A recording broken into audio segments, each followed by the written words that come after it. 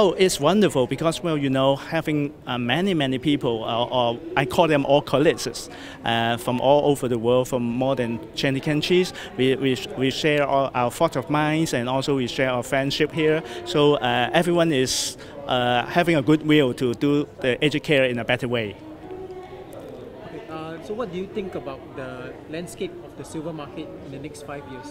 Oh, I think, well, uh, we will be having a huge demand because, well, uh, all over the world we are facing the aging populations and we are not just facing an aging population, we are having our older adults living longer lives. So if I call it uh, aged care, so it would be uh, about 30 to 40 years uh, uh, long for each person.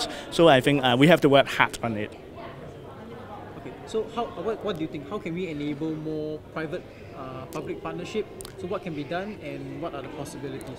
I think first of all, um, the most important is openness. And we, we, we don't say, oh, you are you on, on the on the A cam and I'm on the B cam. There's no way to cooperate. We have to cooperate because uh, we, we share the same goals. That is providing uh, quality and excellent care to the seniors. And I think, well, uh, there should be more uh, uh, opportunities of this kind so that we can exchange ideas, we can exchange what we would be uh, uh, dreaming so we can share our dreams together.